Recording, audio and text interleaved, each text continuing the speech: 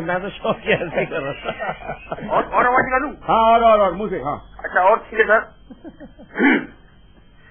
ओए मुगल सल्तनत ने कर दिया? तो पागल हो गए। इमरान हाशमी। नहीं नहीं ललिता पवार। हाँ हाँ ललिता पवार ललिता पवार हाँ मुझे याद है। हाँ। अमर अकबर एंथनी में ललिता पवार का आइटम नंबर था ये वो उसके पहले का डायलॉग आवाज़ कहानी लग रही थी ना। हाँ very nice sir keep it up आप इसी तरह बड़े चलो बस। बिल्कुल। कोई कुछ भी बोले आपका टैलेंट आप कोशिश करते रहो एक दिन निकलेगी आवाज़। Very nice very nice very good I am so proud और हर जगह से अच्छी निकलेगी उम्मीद करते हैं। इंशाल्लाह बिल्कुल सब बढ़िया होगा। लेकिन लेकिन आप आप और कुछ खास सुनाने वाले थे। सुनील दत्त साहब का भी आप ज़िक्र कर रहे थे। हाँ वो एक आवाज़ थी जो मेरे जहन में है और कई बार लाला मैंने कितनी बार कहा है तुझसे मेरी माँ के गहने लौटा दे वरना मैं जरा खून पी जाऊँगा। मुन्ना कितनी बार कहा तुझसे कि तू फ़िल्मों में काम किया कर लेकिन तू पॉलिटिक्स में कैसे आ गया? यहाँ से निकल जा ये तेरे लायक की फ़ील्ड नहीं है। अरे बेटा तुमको बुरा मान गया लाला ऐसे थोड़ी रहेगा है बुरा मान गया तो ये कुछ आवाज़ें हैं। जी इन दोनों के साथ बैठ के तो किसी का भी अच्छा अच्छा मेरे दिमाग में एक सवाल है। आपके सीरियल तारक मेहता उल्टा चश्मा में एक खास कैरेक्टर है महिला कैरेक्टर। जी, जी, जी। जिनकी आवाज़ बड़ी फ़ेमस है। जी। क्या उनकी ओरिजिनली आवाज़ वैसी है? मैं चाहो तो उनसे फ़ोन पे ले सकता हूँ पूछ सकता हूँ चलिए उनसे भी बात करते हैं उनसे भी बात करते हैं लेकिन उससे पहले मनीष मुंबई से है। मनीष स्वागत है आपका आप भी बात कर सकते हैं। और टेलीविज़न का वॉल्यूम कम करें फिर बात करें। ओ मनीष जी नमस्कार क्या हाल चाल है आपके? एकदम फ़र्स्ट क्लास तारक मेहता कैसे है? मैं बिल्कुल ठीक हूँ मनीष जी बोलिए। और मैं तारक मेहता का बहुत बड़ा फ़ैन हूँ। शुक्रिया शुक्रिया बताइए। और साहब ये बोलना चाहता हूँ कि लोकसभा में तो शत्रु भाई आ गए तो क्या बोलेंगे? खामोश! बिल्कुल आपकी आवाज़ से लग रहा है आप ओरिजिनली राजस्थान से है कहीं से?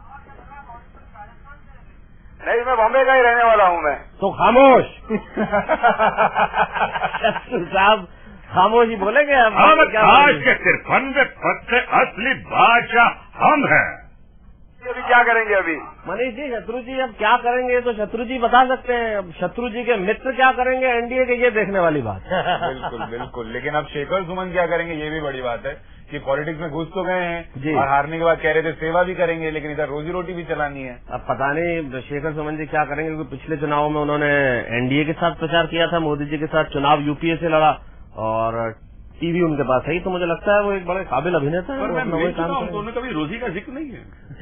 कभी नहीं नेवर तो कुछ बातें छुपा देते हैं। जी हाँ वो जब आपके जैसे अज़ीज़ मित्र से छुपाते हैं तो दुख होता है। दुख होता है आपको? अज़ीज़? ये दोस्ती खत्म? अज़ीज़ कौन है? अरे आप इतने मुख्तलिफ़ लोगों को फ़ोन करते हैं। हाँ। सबसे इंटरेस्टिंग कॉलर आपको कौन मिला? मतलब आपने जिसको कॉल किया और मज़ा सबसे इंटरेस्टिंग है मैं ये नहीं बताऊँगा कि किसको फ़ोन किया मैंने लेकिन मैंने उससे बातें की पेट के गैस के बारे में लेकिन वो कोई और गैस वाली लाइन थी फ़ोन कॉल तो अब आप समझ जाइए कि मैंने किसको फ़ोन किया बहुत ही इंटरेस्टिंग कॉल थी वो साहिर राम है हमारे साथ जोधपुर से साहिर राम साहब आपका भी स्वागत है आप हमारे मेहमानों से बात कर सकते हैं हाँ सर हाँ बोलिए। वो दोनों सुन रहे हैं आपको दोनों नहीं हम चारों साल से करने हैं हाँ बोलिए बोलिए साईराम जी हाँ तारक मेहता जी कैसे हैं? बढ़िया हूँ बताइए। बहुत अच्छे आपको बोलने का स्टाइल और हम देखते हैं रोज ही ना आपका धारावाहिक जी। तो कभी कभी बच्चे तो ज़बरदस्ती लगाते हम क्रिकेट देखते तो बोलते नहीं तारक मेहता जी का लगाओ। क्या बात है आप बच्चों का शुक्रिया अदा करो क्रिकेट बंद करा में झगड़ा करवा रहे हैं? हाँ, हमें दिखा दे इससे बढ़िया क्या हो सकता है? नहीं नहीं वो ये कह रहे हैं कि ज़बरदस्ती देखना पड़ रहा है आपका आप जोधपुर के रहने वाले हैं उनकी बात को? हाँ जोधपुर गए। तो फिर मारवाड़ी में बोलिए ना हिंदी में क्यों बोल रहे हैं? मारवाड़ी अब क्या शहर में रहते हैं तो मारवाड़ी कम ही आती है हिंदी बोलते हैं। अच्छा हिंदी बोलते हो आप मारवाड़ी हमारा कम ख्याल रख रहे हैं। हाँ, आप लोगों का ख्याल रख रहे हैं अच्छा मैं मेहता साहब आप मारवाड़ियों के बारे में हमेशा कुछ ना कुछ सुनाते रहते हैं। जी जी बहुत दिन बाद आपसे मुलाकात हुई कुछ मारवाड़ी में नया? नहीं मारवाड़ियों के लिए तो सीधी सी बात है बगैर पैसे सुनाते ही नहीं। हाँ भैया और साईराम जी और क्या कह रहे हैं? तो ठीक है आप सुनाए सर कैसे हैं? बस बढ़िया और बताइए क्या पूछना चाह रहे हैं? खाली एक आधा शेर वेर सुनाए खाली हंसने से क्या होगा? शेर सुनाए एक आधा अच्छा हाँ, शेर सुना बिना पैसे के सुनाना पड़ेगा। अब ये तो जोधपुर से कोई कह रहा है तो शेर सुनाना ही पड़ेगा। तो मैं सुना देता हूँ शेर। प्रोग्राम रोको पैसों का इंतज़ाम करो। गाड़ी आगे बढ़ने नहीं वाली है। सही। है मुझे लगता है आपके आपके लिए ऐसे पैसे उड़ाने वाले लगातार करना राजकुमार हमारे साथ दिल्ली से। राजकुमार स्वागत है। बात कर सकते हैं मेहमानों से। राजकुमार आप बोलिए राजकुमार। राजकुमार जी हेलो जनता सिंह जी। हाँ हाँ बोलिए राजकुमार जी। हम तुमसे बात करेंगे करेंगे ज़रूर करेंगे। पहले कुछ बोलो तो सही।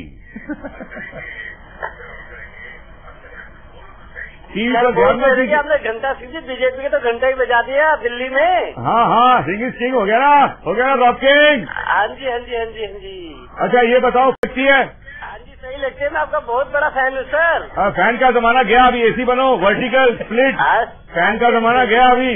हाँ जी। रोटरी एयर कंडीशन का टाइम है आजकल. अच्छा ठीक है सर फ़ैन वैन नहीं. हाँ जी यार इसी का टाइम है फ़ैन लेके बैठे हैं यार. अच्छा घंटा सिंह जी आपकी हाँ। शादी हो गई है?